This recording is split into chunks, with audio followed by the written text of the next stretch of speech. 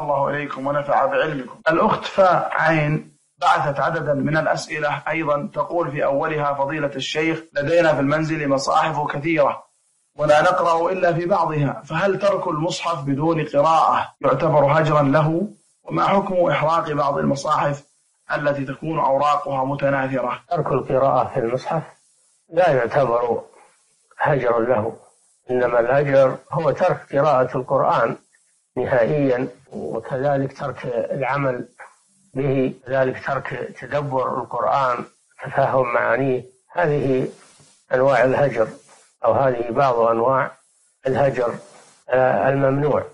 وأما ترك القراءة في المصحف مدة فإن هذا ليس من الهجر. وأما المصحف الذي آه، تمزق ولا يصلح للاستعمال فإن الواجب إما إحراقه وإما دفنه في مكان طاهر من أجل أن لا يحصل له امتهان. نعم.